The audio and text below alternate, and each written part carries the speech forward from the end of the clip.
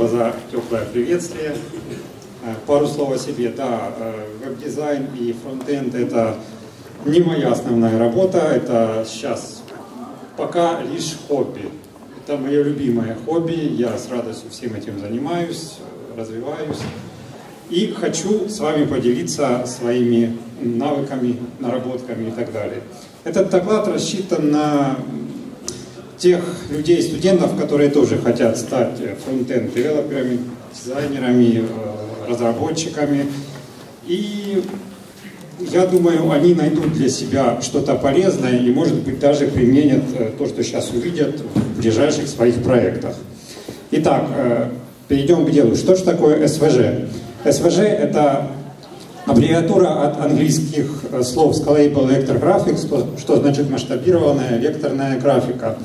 Э, она предназначена для э, хранения и передачи графической информации, плоской графической информации, как векторной, так и растровой. Уже в самом э, названии Scalable, что значит масштабированная, масштабируемая, заложена основная суть вот этого формата. Сейчас, когда в нашу жизнь все чаще и больше входят дисплеи с высокой плотностью пикселей. Это ретина дисплеи э, на мобильных телефонах, на лэптопах наших, 4К, 5К э, мониторы. Э, масштабирование изображений в вебе э, приобретает огромную важность, ценность и, и, и так далее. Мы часто видели э, на хороших дисплеях мутные картинки или картинки, у которых появляется лесенка по краям. Это признаки, ну, скажем так, устаревшего подхода к графике. А я вам сейчас расскажу современный подход. Э, итак, э, стандарт СВЖ, он зародился еще ну, почти 15 лет назад, но свое распространение он получал по мере того, как браузеры мобильных устройств и э, компьютеров поддерживали этот формат. В 14, 15, 16 годах э, дизайнеры часто говорили, что тренд этого года в дизайне это применение SVG графики, SVG анимации. Но сейчас, в 2017 году, это не просто тренд, это уже must-have, как сказать те далекие времена э, редко какая компания могла себе позволить навороченный сайт, в котором была бы крутая, четкая графика с хорошей анимацией. Для этого нанимали э, дорогие студии, и эти студии, ну, только крупные студии могли себе позволить разработчиков, которые имеют подобные навыки. Сейчас 17 год, сейчас это must-have в каждом сайте, и каждый разработчик, который хочет работать во фронтенде и в интернете, должен хотя бы иметь представление об этом, а лучше, конечно же, применять на практике. Итак, э, сейчас я вам покажу э, небольшой мастер-класс, как делать SVG-анимацию э, Э, на основании задания дизайнера вашего проекта. Э, я подготовил, скажем так, анимацию моей работы в слегка ускоренном виде. Сейчас мы видим задание, которое я получил от дизайнеров Кварцофта и решил на основе этого сделать свой доклад. Я, к счастью, сразу получил все это в векторном виде, поэтому очень много рутинных операций э, мы опускаем. Итак, что ж мы хотим сделать? Э, в программке, которую всем вам выдавали, есть QR-код. Вы можете его увидеть, и э, благодаря этому коду вы можете своим мобильным телефоном запустить вот эту анимацию прямо сейчас у себя в телефоне, поиграть ею, и параллельно видеть, как же все это создавалось. Вы знаете, что такое QR-код. Навел телефоном, он распознал, в браузере открылось. Э, также на этой страничке будет ссылка на GitHub. Это, там вы можете найти исходный код этой анимации, шаблон для создания подобных анимаций, сборщик галп, который предназначен для, ну, скажем так, промышленного применения всего этого, для штамповки этих анимаций в больших количествах и много других вспомогательных модулей. То есть, по сути, это готовый э, шаблон для работы, для реальной работы. Если кто-то из вас планирует стать фрилансером, это может быть, ну скажем так, одним из кирпичиков вашего фундамента в работе. Что ж мы делаем? Смотрите, у нас есть э, логотип Кварцофта, который представляет собой каплю. Мы хотим это немножко анимировать. Э, в современном э, веб-дизайне, особенно вот в последний год-два, большую популярность приобрели различные микроанимации, микровзаимодействия, то, что нам нравится во многих интерфейсах сайтов, наших мобильных телефонах и так далее, когда все шевелится, реагирует на наши движения, прикосновения. И сейчас мы попробуем э, буквально за 20 минут сделать нечто подобное. Итак, мы хотим, чтобы, допустим, э, вот этот вот логотип э, реагировал на скролл страницы, где он размещен. Э, для того, чтобы он реагировал, нам нужно получить э, для анимации начальные и конечные состояния вот этих вот реакций, э, чем, собственно, я э, сейчас на экране и делаю. Я размножаю этот логотип и, и потом его немножко модернизирую. Э, если честно говорить, то это работа больше дизайнера, чем разработчика, потому что он ясно видит и представляет, что в его дизайне, как должно изменяться, куда перетекать что во что превращаться. И потом разработчик, получая его дизайн, просто применяет все это э, в своей работе на практике. Сейчас вы видите, я сам собственноручно все это э, меняю, так как это действительно делается в реальности. Потом э, из этих контуров мы сделаем SVG файл, так сказать, заготовку, исходный код контуров, которые Э, применим в дальнейшей анимации, в кодировании. Сейчас я наложил наши логотипы э, для того, чтобы нам без дополнительных пересчетов и манипуляций просто Ctrl-C, Ctrl-V мы могли бы вставлять все это в наш э, программный код. Сейчас мы все это экспортируем в SVG формат. Такую опцию предоставляет практически все современные графические редакторы, не только иллюстратор. Опции у них там называются все по-разному, но суть у них у всех одна. Вот такой вот код мы получаем. Это код SVG файла. Это стандартная XML разметка. Она э, поддается копированию Ctrl-C, Ctrl-V и в принципе понятно тем, кто хоть чуть-чуть в этом разбирается.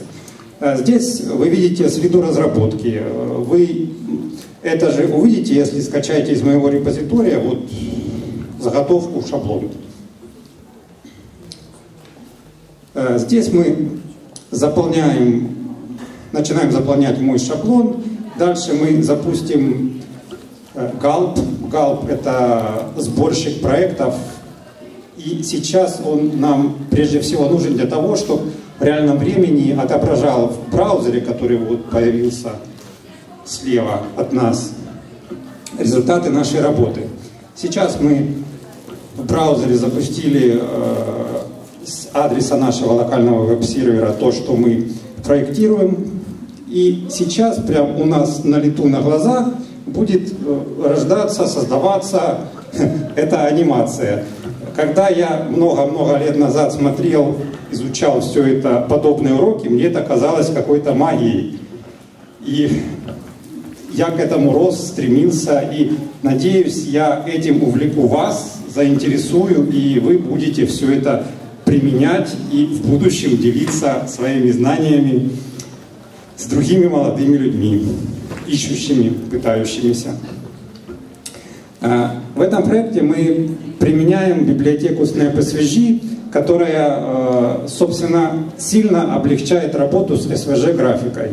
Она позволяет нам сильно сократить количество строк кода, сократить наши временные затраты.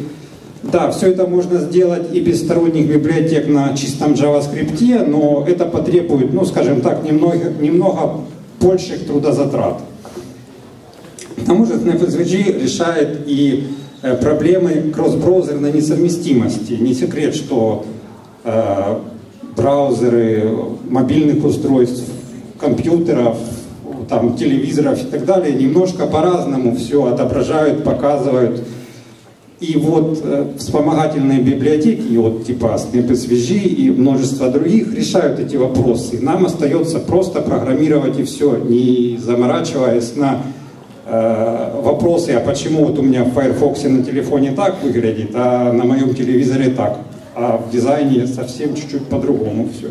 Все это решается с помощью сторонних библиотек или кропотливого труда и доводки.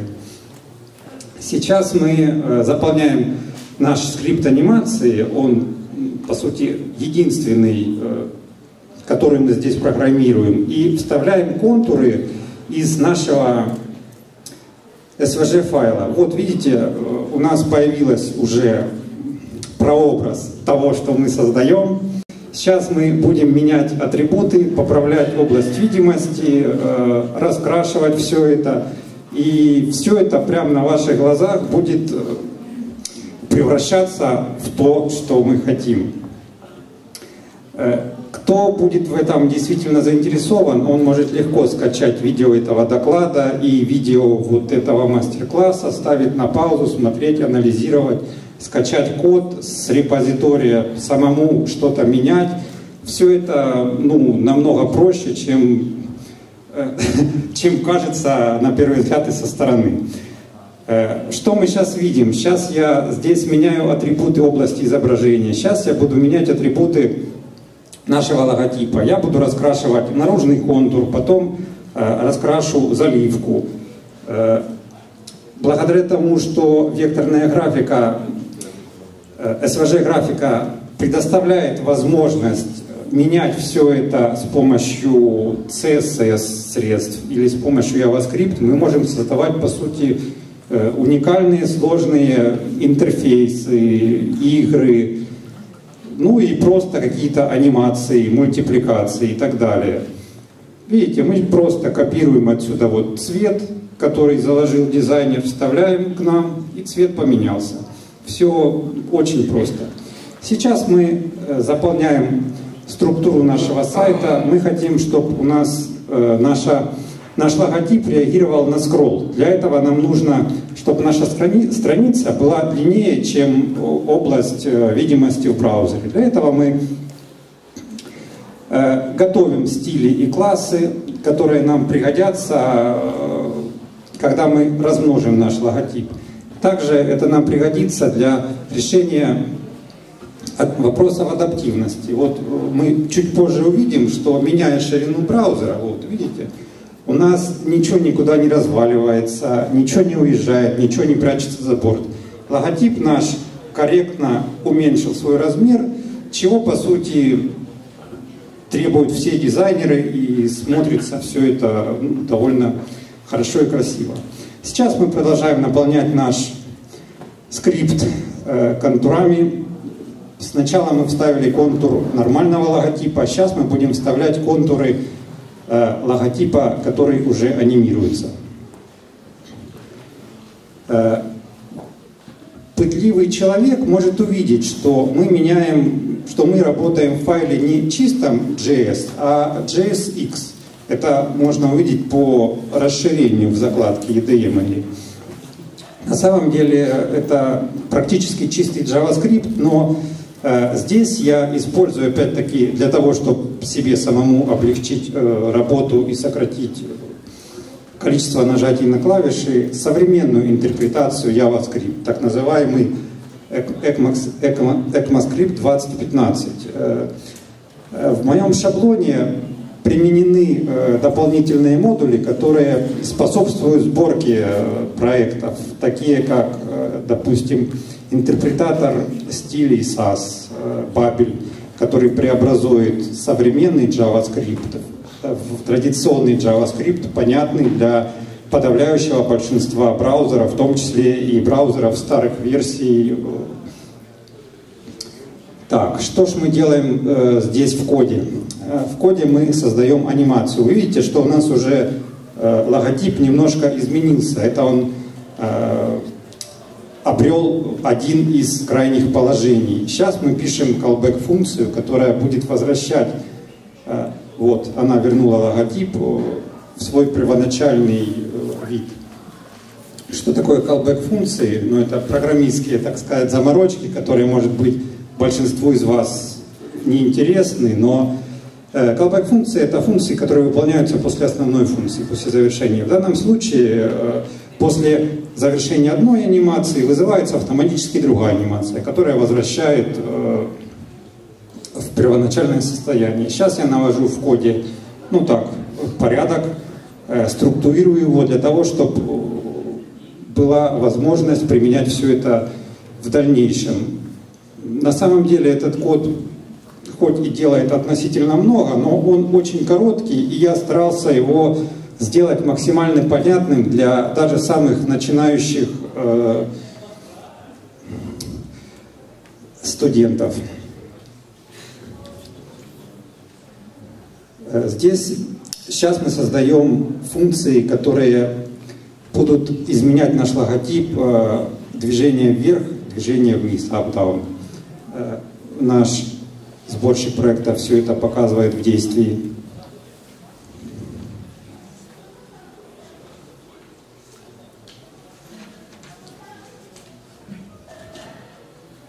Если у кого-то есть вопросы, я буду рад сразу по ходу отвечать, потому что я могу говорить и много, и долго. Это моя любимая работа.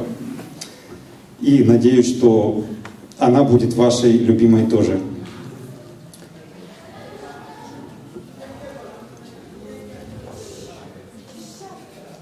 Так, с вашего позволения я перемотаю рутинную часть мы приблизимся э, к самому интересному.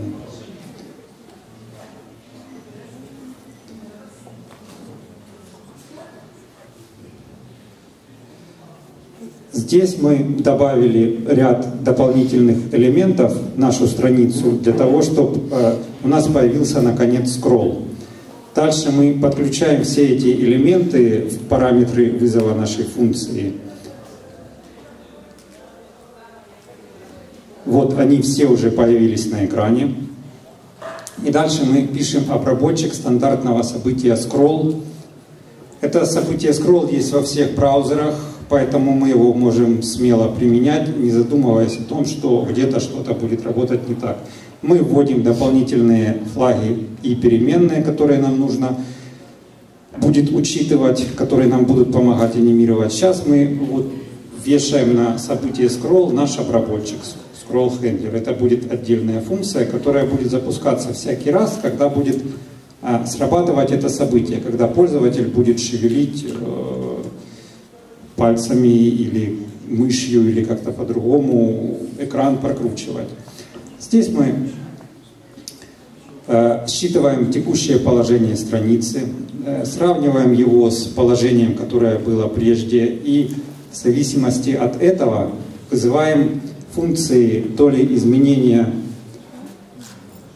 э, то ли изменения вверх, то ли изменения вниз. Видите, я пропустил вот часть кода, потому что это может быть э, сейчас не совсем интересно, а, а только тем, кто раз, захочет разобраться, это будет интересно. Э, следующим этапом у нас будет оптимизация для мобильных устройств. Почему э, я все это Э, решил внести в доклад, потому что ну, ни для кого не секрет, что в современном вебе почти половина просмотров страниц идет с мобильных устройств, с телефонов, с э, планшетов, даже телевизоры вычисляют к мобильным устройствам. Поэтому учитывать э, и охватывать эту аудиторию нужно обязательно. Да, наша анимация прекрасно работает теоретически и так, без всякой оптимизации, но она отлично работает на относительно новых э, мобильных устройствах. А устройства, допустим, там двух-трехлетней давности, не флагманы или еще что-то, они требуют оптимизации для того, чтобы движения были плавными, гладкими, э, не было заеданий и лагов. Мы должны, обязаны просто заботиться об этих посетителях, не столько из любви к ним, а, а сколько потому, что они должны видеть информацию, которую, которую показывает сайт. Э, один из самых простых способов оптимизации – это говорить э, браузеру, что во время анимации нам нужно э, рендерить наше SVG изображение не столько красиво, сколько быстро. Тут прям есть такой и, и параметр оптимизация по скорости. И мы увидим, что во время анимации у нас появились небольшие зубчатые контуры. В реальной жизни, конечно, едва ли можно выпустить в работу такое приложение, и требуется, потребуются дополнительные проверки для того, чтобы для того, чтобы избежать подобного. Э, требуются проверки, какой браузер у пользователя стоит, какой версии, какое устройство, и в зависимости от этого уже предоставлять ему в разной степени оптимизированный контент. Э, может быть, э, нужно будет убрать вот этот вот градиент, который э, эмулирует, скажем так, объемность. Вот следующий мой заказчик, извините, докладчик наш, будет рассказывать о флэп-дизайне. И я думаю, мне тоже можно упоминать об этом. Здесь у нас введен градиент для псевдообъемности, но на самом деле это просто иллюстрация возможностей СВЖ, а не, а не необходимость. Э, я рад буду услышать ваши вопросы, э, ответить на них и по программированию, и по СВЖ, и в целом по фронтенду, и по дизайну. Спрашивайте, ну, все, что хотите, все, что касается интернета, я попробую ответить. Алексей, ну или все понятно, или ничего не понятно.